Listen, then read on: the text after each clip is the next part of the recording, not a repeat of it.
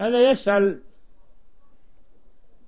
يسأل عن رفع الأصوات في المسجد الحرام. ما يجوز هذا رفع الأصوات والمنادات. بعض الناس ينادي بعض يرفعون أصواتهم. هذا أول شيء أنه يشوش على اللي يقرؤون القرآن ويصلون. وثانيا فيه إساءة إلى حرمة المسجد الحرام. فلا ترفع الأصوات فيه كأنه شارع. يعني خلى مثل الشوارع. لا ما يجوز هذا. لا يجوز هذا. ويسأل عن قتل الحشرات. الحشرات المؤذية تقتل سواء في المسجد الحرام أو في غيره الحشرات المؤذية تقتل دفعا لأذاها. نعم.